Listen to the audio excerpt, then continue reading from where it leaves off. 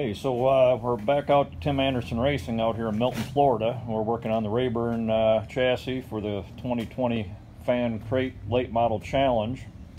Wanted to do a little video on uh, the Bert transmission and how to operate it.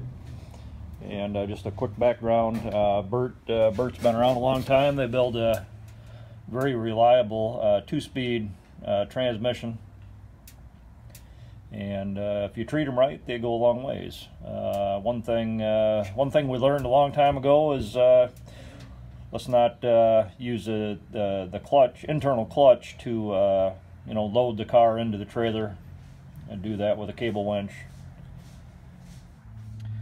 So the Bert transmission relies on the standard pedal setup. you got the clutch, you got the clutch pedal, brake pedal, accelerator pedal, uh, pretty standard stuff. Uh, we've run, uh, over the years, we've run uh, manual transmissions, automatic transmissions, all kinds of stuff, but uh, we've run actually a button clutch, which is a whole nother story. but this Bert transmission uses the standard pedal setup, and a couple things about Bert is the clutch pedal is completely opposite, used completely opposite of what uh, standard transmission would be. Um, for example, uh, we look at the shifter over here. Two lever shifter, we've got one lever for reverse and one lever for uh, low gear and high gear. And uh, how you'd operate this thing, uh, let's say you're going to back away from the trailer. Uh, you do not push the clutch down get it all in one shot here. You push it into reverse and you ease ease the clutch down and a little bit of gas at the same time to keep the engine running. Uh, and you try not to slip the clutch as much as you can. Uh, this is reverse, so you step the clutch down to get the car to move, let it up to stop. So let's say you're backed out of the pit space, uh, you want to go out in time trial, pull this back into neutral, this one goes into uh, what is low gear. And this car is set up uh, as the right hand is the low and the high. And again, you uh, push it into low gear, uh, push uh, the clutch down to get the car to roll. And again, you don't want to slip the clutch too much. Uh, it's not it's not like a regular clutch. It's a small clutch within the transmission. As you get the car to roll, you get it out on the track. You bring the RPM up to, let's say, two to 3,000 RPM, and you would let off the clutch completely and snap this back into high gear. Again, low gear, high gear. And uh, that's pretty much the short of it. Uh, of course, uh,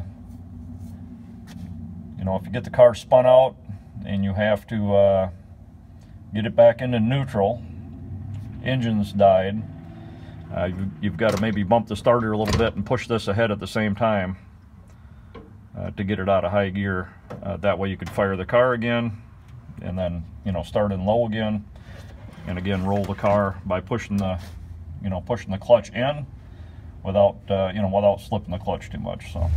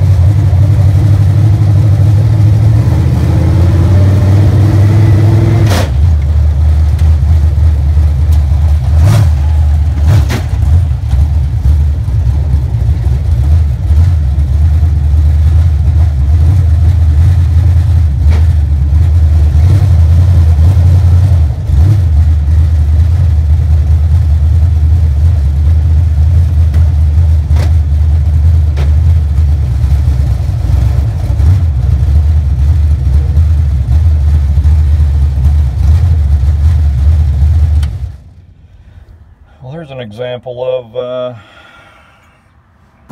putting it into high gear. About 2,500 RPM when you snap it back, and you got to let off. Uh, you let off the clutch and let off the gas at the same time, snap it back into high gear. Hope that helps. Anybody trying to learn how to run a Bert transmission?